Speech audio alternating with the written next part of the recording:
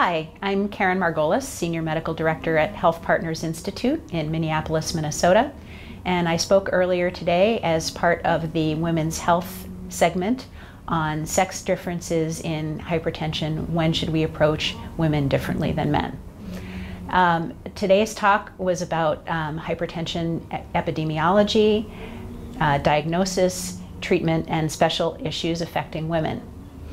So, hypertension is found in 34% of adults in the US, and in women, it becomes more prevalent than men starting at age 65.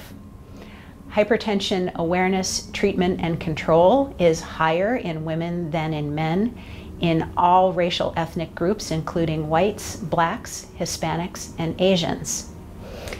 With regard to hypertension diagnosis, we should treat women and men the same.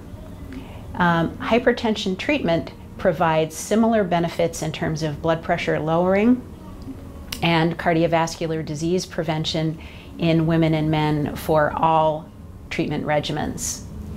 There are some special reproductive factors uh, where we do need to treat women differently than men.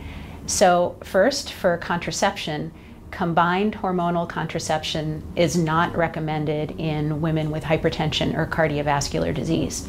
Fortunately, we have a, lot of great other alternatives to help prevent pregnancy in women uh, with those problems, including copper IUDs, levonorgestrel IUDs, and also levonorgestrel implants.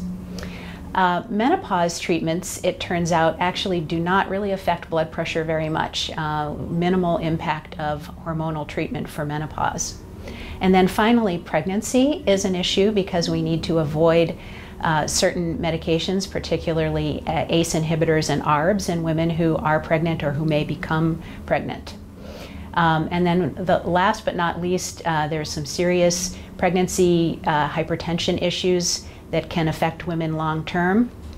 Preeclampsia does increase women's risk, uh, even following pregnancy, for uh, both long term hypertension and cardiovas- cardiovascular disease. So that's what we talked about today. Thanks.